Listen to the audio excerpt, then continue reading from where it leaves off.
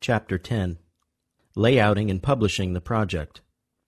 In this chapter, we will create layouts and place drawings on them.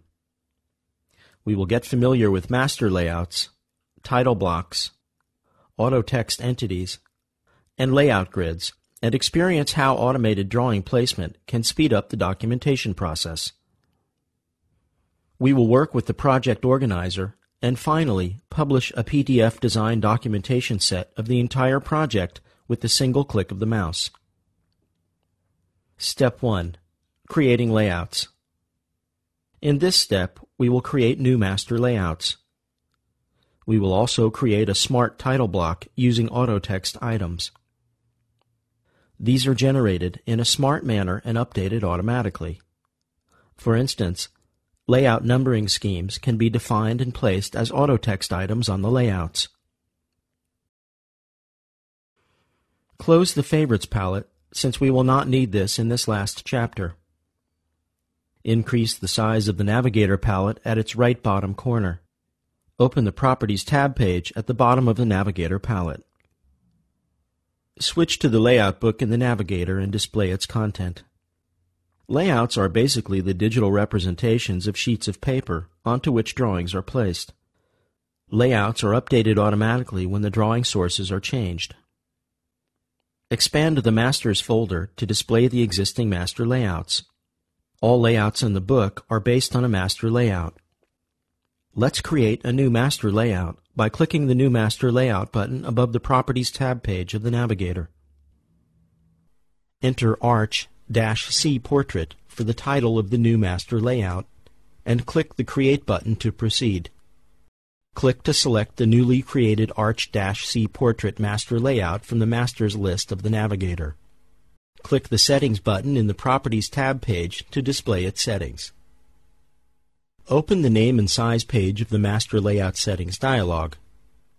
Click the drop-down list in the Size field and select C Architectural from the list.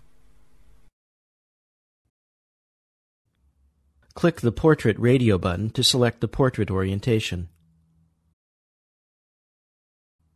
Finally, click OK to accept these changes and proceed. Activate the A08 Interior Elevations layout by double-clicking on its name in the Layouts folder of the Layout book. When the layout appears, right-click it and select Fit in Window from the context menu.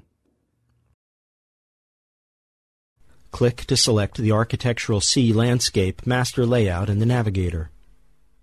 Drag and drop this master layout onto the Interior Elevations layout. Notice that the existing master layout has been replaced by the Architectural C Landscape master layout. Open the Architectural C Landscape master layout from the Master's container of the Navigator. Select the Fit in Window option from the context menu. Zoom in to the title block area of this master layout at its lower right corner. We have a pre-drawn title block already in place. Make sure that the guidelines and tracker buttons are activated in the standard toolbar. Shift-click to select the text block with the text 2008. Right-click and activate the Move Multiply command from the context menu.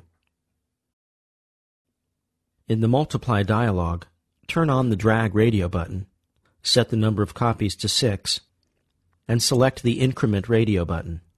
Finally, click OK to proceed. Click once and start dragging the cursor vertically down. Wait for the vertical guideline to appear, and let the cursor gravitate to it. Type 5 slash 8 inches into the distance field of the tracker to set 5 eighths of an inch, and press the Enter key. Press the Escape key to deselect the created copies. Select the lowest of the newly created 2008 text block. Drag it downward by an additional 7 sixteenths of an inch with the help of the guideline and the tracker palette.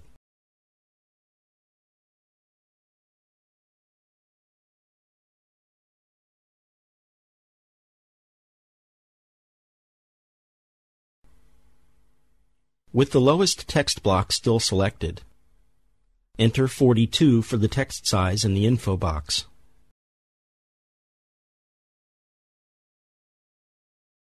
Select the text block immediately above it.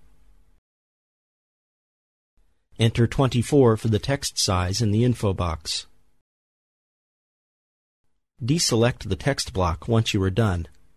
All text blocks are in correct position having the appropriate text sizes. Now, we'll modify their content. Select the File, Info, Project Info menu item to open the Project Info dialog. The Project Info dialog contains a predefined set of textual information about the project to be displayed in text block elements as autotext entities. Let's create a new Project Info item by clicking the New button at the top of the dialog.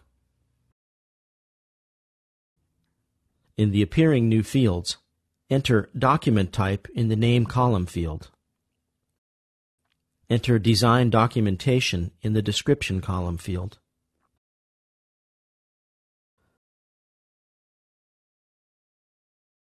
Finally, click OK to accept these changes and return to the master layout. Activate the Text tool in the toolbox. Shift-click the text block in the Layout ID field to select it. Click the text block to enter the text editor mode, and select the text if it's not selected. Click the Insert Auto Text button at the text editor box. In the appearing Insert Auto Text dialog, select Layout in the category list at the top, and then select Layout ID from the Auto Text Items list. Auto text items are generated in a smart manner and automatically updated. For instance, layout numbering schemes can be defined and placed as auto text items on the layouts and so on. Finally, click the Insert button to proceed. Click elsewhere to finish the text editing and press Escape once to deselect the text block. Select the text block in the Scale field and click to edit it. Click the Insert Auto Text button again. Select Drawing in the category list and select the drawing scale from the Auto Text item list. Click Insert to proceed terminate the text editing, and deselect the text block. Select the text block in the revision number field, and click into it to edit it.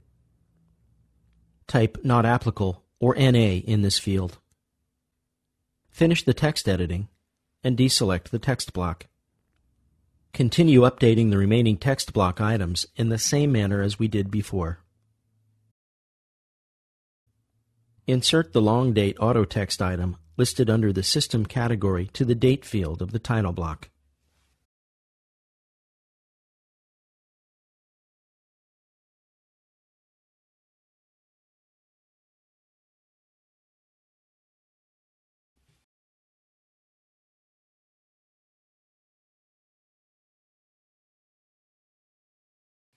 Insert the layout name autotext item listed under the Layout category to the Drawing field of the title block.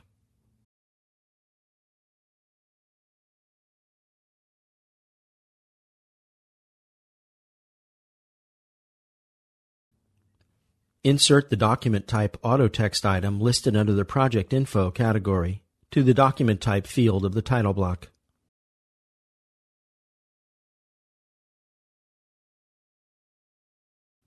Activate the A8 Interior Elevations layout by double-clicking its name in the Layouts folder of the Navigator.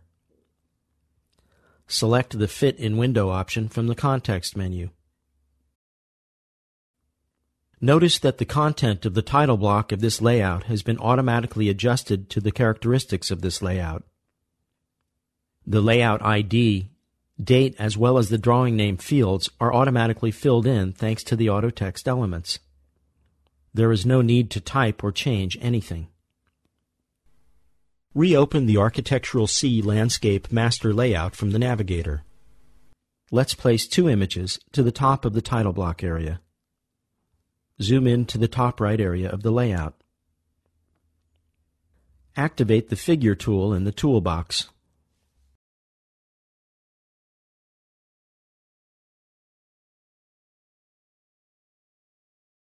Click the Figure Settings button in the info box to open the Figure Settings dialog. Click the Open button in the Preview and Positioning panel of the dialog to bring up the Open File dialog. Select the Southeastern View image file located in the Chapter 10 folder of this guide. Click the Open button to open it. Let's change the size of this raster image. Make sure that the Keep Proportions checkbox is selected. Type 180 into one of the resolution fields and notice that the other resolution field, as well as the figure size fields, will be automatically updated. Make sure that the middle anchor point is selected. Finally, click OK to proceed.